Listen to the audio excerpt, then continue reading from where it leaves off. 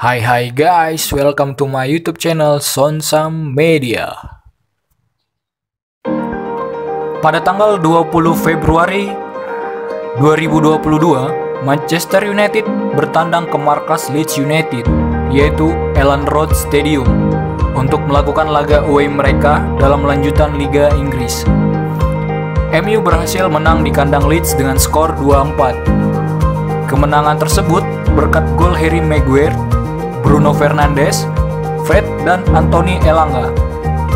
Namun, sebelum memasuki gol terakhir yang dicetak oleh Elanga, ketika gol ketiga yang dicetak oleh Fred, ada insiden yang dilakukan supporter Leeds United saat Fred merayakan golnya bersama Anthony Elanga, yaitu di menit ke-70.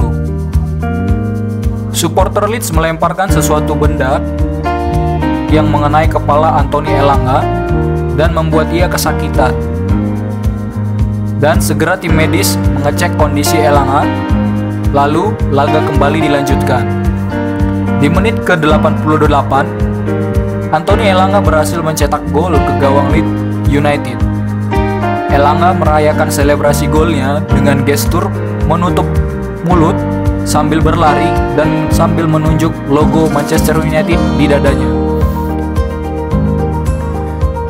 Insiden pelemparan benda kepada Elanga kemudian ditindaklanjuti oleh FA yang membuat Leeds United terancam terkena hukuman